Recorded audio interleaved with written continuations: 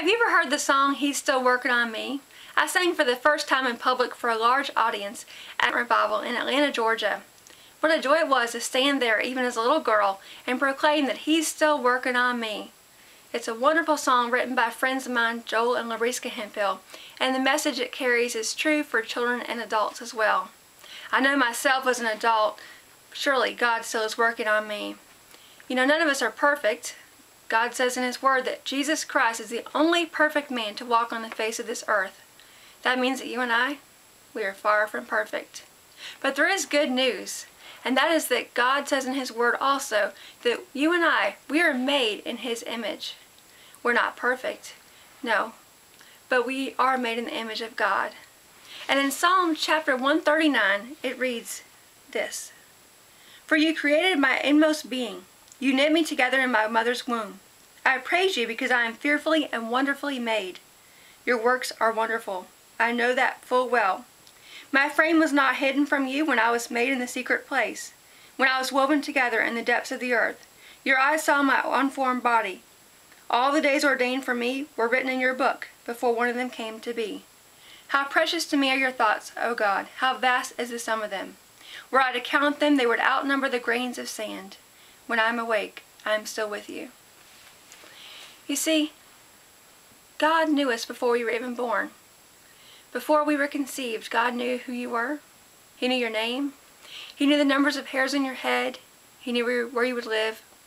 He knew that you would grow up and become successful in whatever you did. Or perhaps find some failures along the way as well. And that's what the wonderful promises of God tell us is that God has never done with us.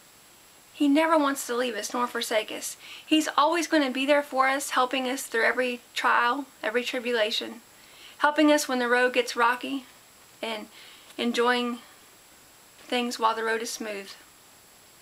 But God cares for you more than you could ever possibly imagine. That's why He does care for you so much. Because He loves you. It's out of His vast, great love for us John 3.16 says, For God so loved the world that he gave his only son. It doesn't say that God gave his son so he could be put on a pedestal somewhere and praised for that. No. It says God gave his only son because he loved us. He loved the world. He also gave his son because he wanted our sins to be forgiven. Because he knew that if his son died for the forgiveness of our sins, then we could have our sins washed away white as snow, and then have everlasting life in heaven with him. I've received a lot of gifts in this life, but none so great as the love of God. None so great as salvation. It's freely given. It doesn't matter who you are. Doesn't matter where you are. God gives salvation freely to every person on this planet. If you don't know the love of God and don't have a personal relationship with Jesus Christ, I urge you today to make the decision to follow Christ in all you do, to pray and ask Him for forgiveness of your sins. Ask Him to come into your heart and make you a new creation. The Bible says that old things are passed away and all things have become new. The Bible also says that today is the day of salvation. Don't wait till tomorrow. It may be too late. Call in the name of the Lord Jesus Christ and you shall be saved. I encourage you right now wherever you are, just stop what you're doing. This is too important. And pray and ask Jesus Christ to come into your heart. Because I can tell you from personal experience, a relationship with Jesus Christ is the greatest thing anyone can have on this earth.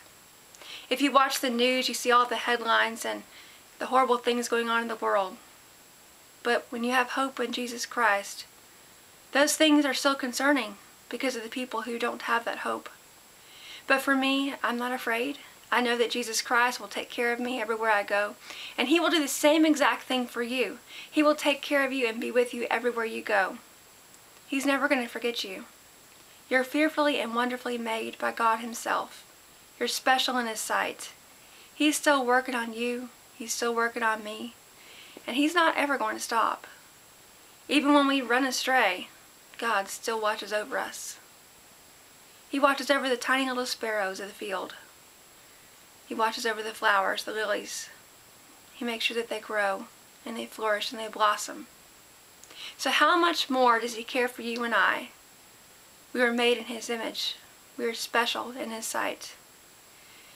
I pray that you have a wonderful week ahead, and I pray that every moment of every day that you feel the love of Jesus Christ radiating in your heart. I pray that you remember that you're fearfully and wonderfully made. You are so special in God's sight. He thinks you are so special. And I pray most of all that you will know anew the love of Jesus Christ because it's unconditional, it's infinite, it, there has no bounds. The love of Jesus Christ will reach to the farthest ends of the earth. In Romans we read that nothing will ever separate us from the love of Christ and the love of God. Nothing. Nothing in this world can separate you from the love of Jesus Christ. And I want to encourage you today. Tell someone about Jesus Christ and His love. You might just change their life when they make the decision to have a personal relationship with Jesus Christ and you were the one who planted the seed. God bless you. Take care. And remember, Jesus loves you so very much. So